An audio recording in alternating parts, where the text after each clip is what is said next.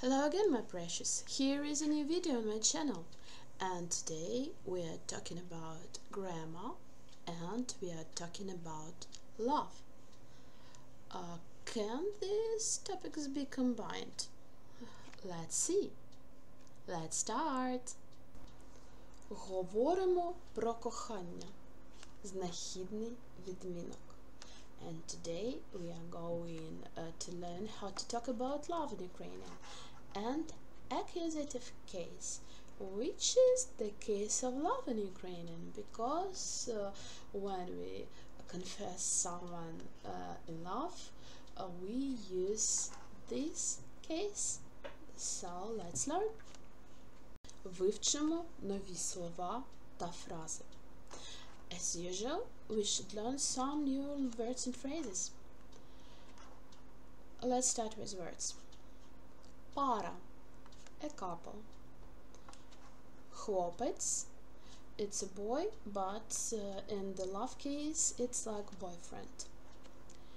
Дівчина, a girl, but in this case, a girlfriend. Кохання, love. Любов, love. What is the difference? Кохання, it's passionate love, and любов, it's love in general. Uh, uh, to nature, to your country, to your parents, and uh, кохання, it's only to your intimate partner, to someone uh, who you love intimately, passionately. Чоловік a husband, дружина, a wife. Радість, joy, задоволення, pleasure. Батьківщина, uh, motherland, uh, your native country. And the phrases. Ти подобаєшся мені. I like you. Ви подобаєтесь мені. I like you. The difference between ти, ви you uh, can watch in my uh, first videos uh, where I'm talking about these pronouns.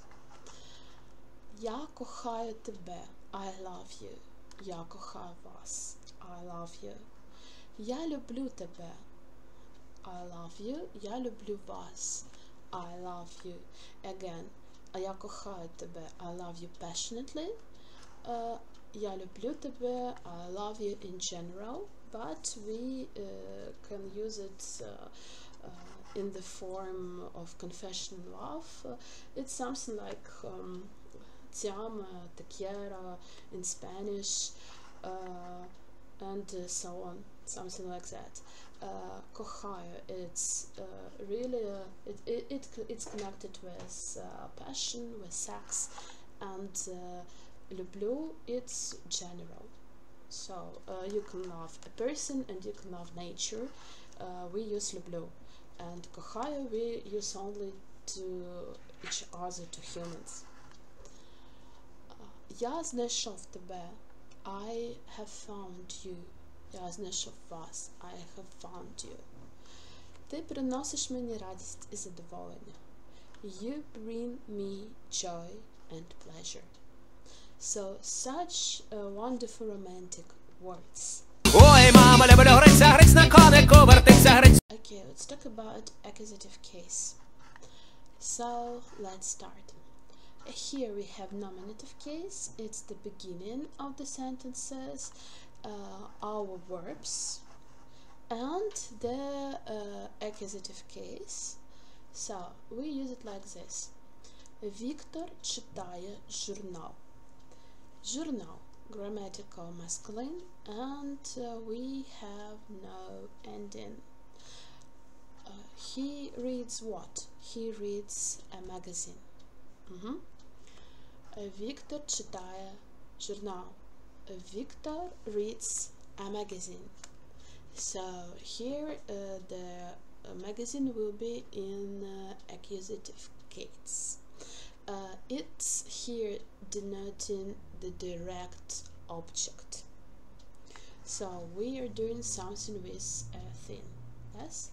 Uh, and this is another example. Ганна пише диктант. Johanna writes a dictation. So again, we, we see that grammatical masculine, it has no ending. Uh, Hanna is writing what? She is writing a dictation. So we use accusative uh, case here. Uh, Anna pushed a list. Uh, again, no ending, but sometimes we can use ending R. Uh, Hanna pushed a.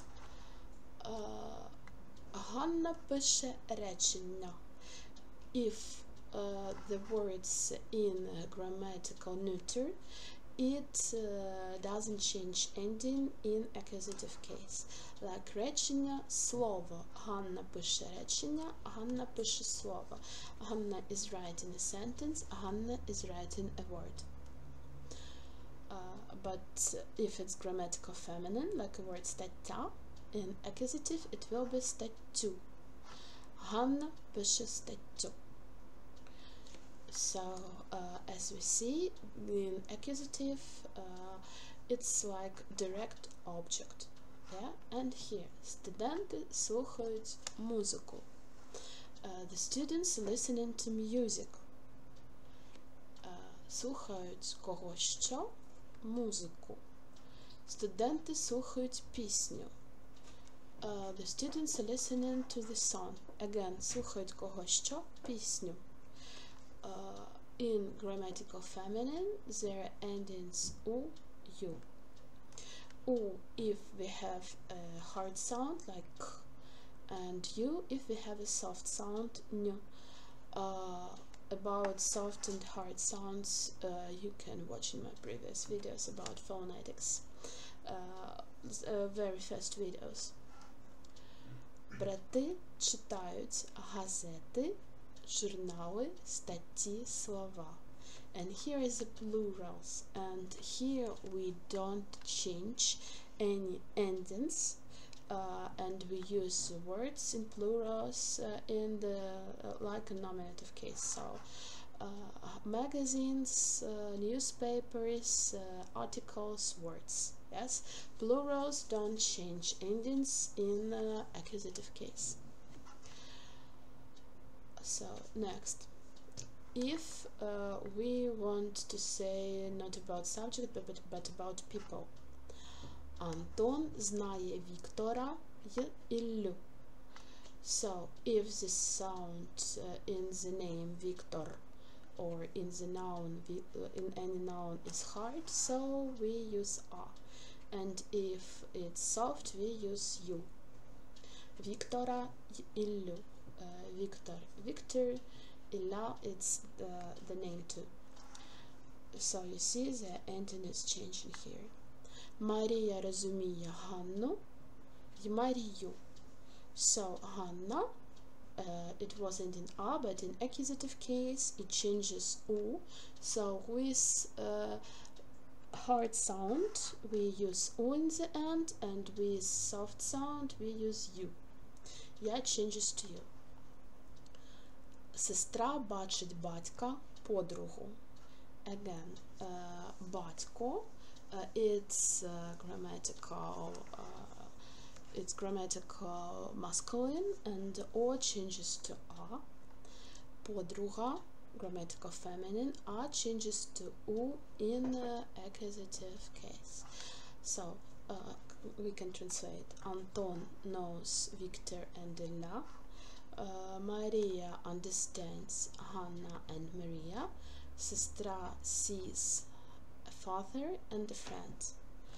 Uh, so you see the changes of ending. It's uh, pretty easy. In general, if uh, it's if, we have grammatical masculine, uh, it goes without any ending, like a nominative case. If we have grammatical neutral it changes nothing.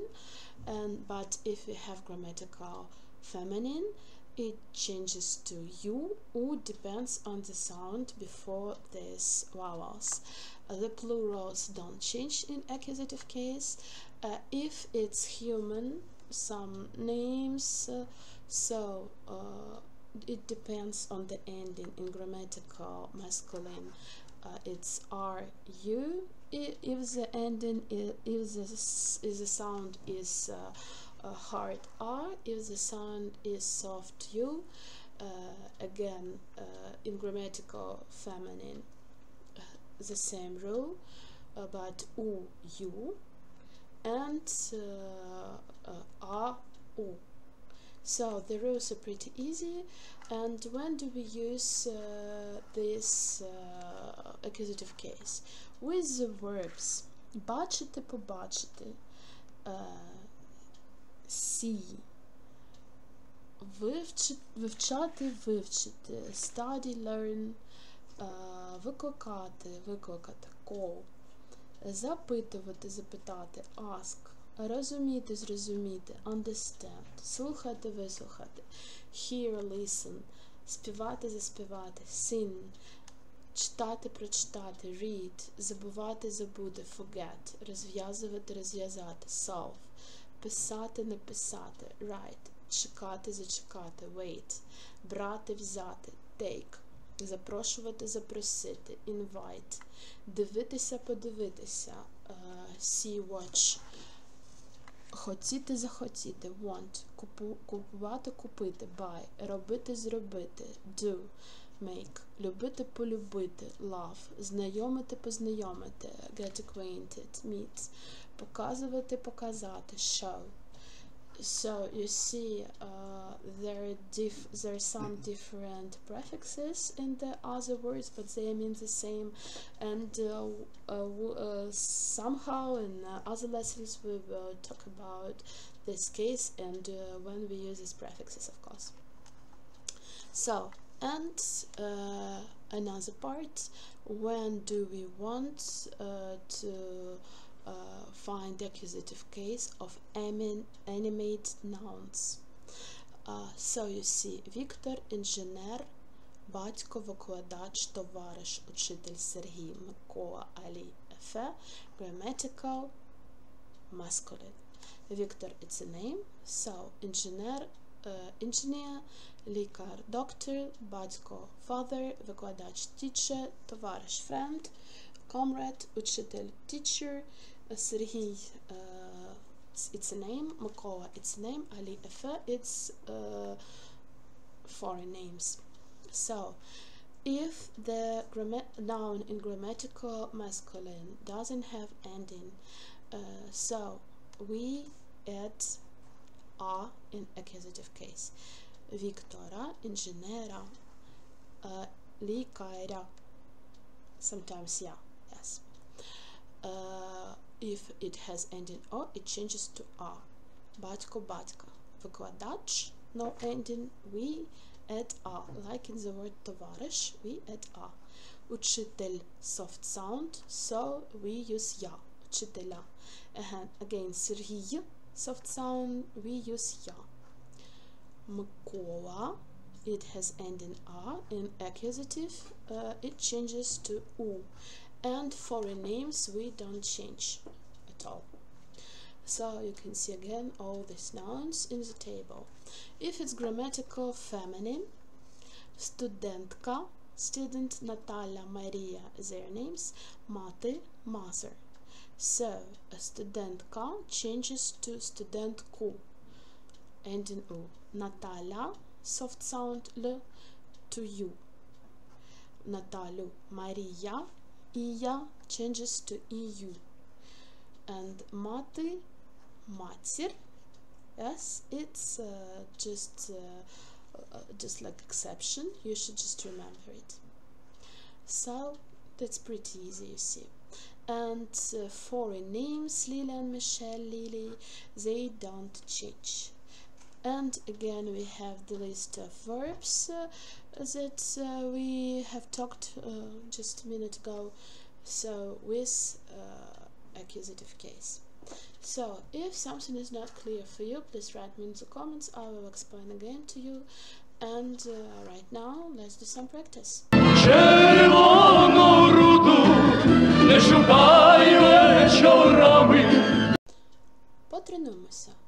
Let's practice. So here I have uh, the short sentences and in the end the nouns in nominative case. So please turn it into accusative. You can uh, use the table in uh, previous uh, slides and try to do it. Write the answers in the comments and in the next slide we will check and translate everything. So I hope your answers will be correct. Here are the answers. So, я читаю книгу. I read a book. So, A changes to U.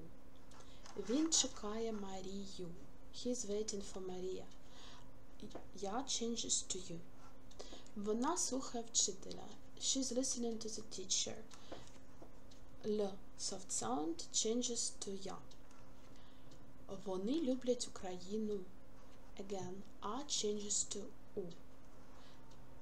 They love Ukraine. Ти запитуєш друга. You ask a friend. Again, друг with no ending and uh, it's hard sound, so we use ending A. Ми даруємо любов. We are given love and uh, it doesn't change. So I hope all your answers were correct. Uh, you can practice with any other verbs, any other nouns like that. You see, the rule is quite clear and the exceptions are quite a few. So if you don't understand something, please ask me in the comments. I will explain you everything again. Віддала кохання хлопцю молодому. Прочитайте текст. Let's read the text. So here is a text about love, about one of my the most favorite films in Ukrainians, uh, Тіні забутих предків, Shadows of Forgotten Ancestors, and it's also a book by Mikhail Kotyubinsky, a famous Ukrainian writer. So all the nouns in uh, accusative case are uh, purple here in the text. So uh, let's read it and let's translate it, and then I will ask you to answer the questions. Це Іван та Марічка. These are Іван and Марічка. Вони пара. They are a couple. Іван кохає Марічку. Іван loves Марічка. Марічка кохає Івана. Марічка loves Іван. Марічка співає пісню про Івана. Марічка is singing a song about Іван. Іван слухає пісню. Іван is listening to the song.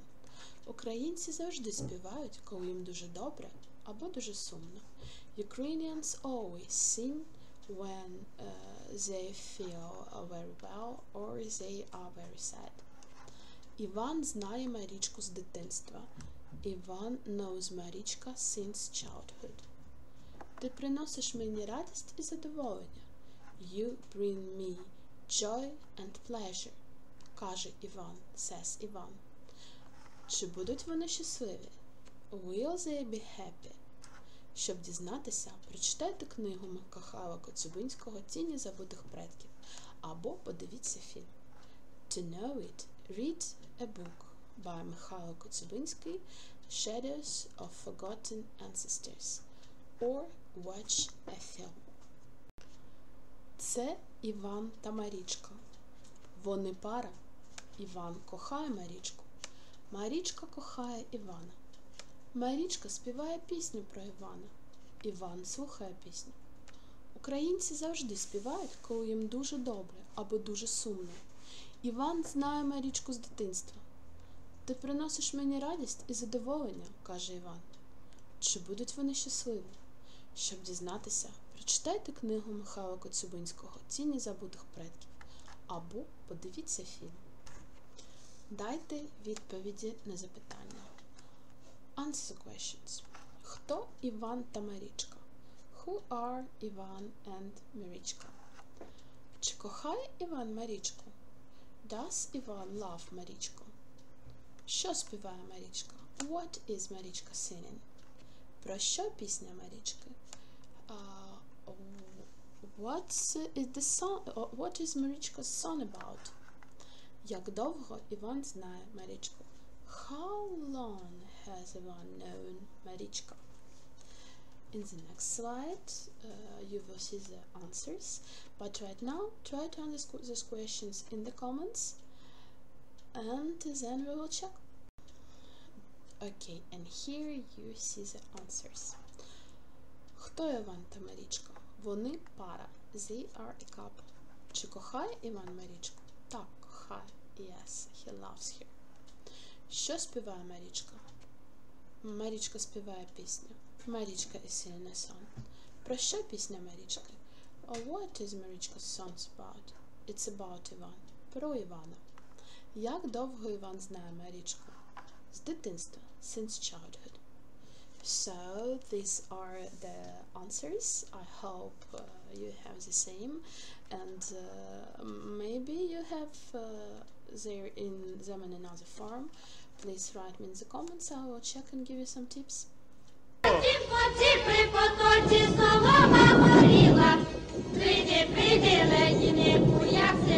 поці Okay, this is the end of our video. I hope you have enjoyed it. I hope you have learned many interesting things. I hope you liked all the songs that were in this video. Uh, please check them in the description below. Give this video a huge thumb up. Subscribe to my channel not to miss any other videos. And we will see each other next Friday. Bye bye.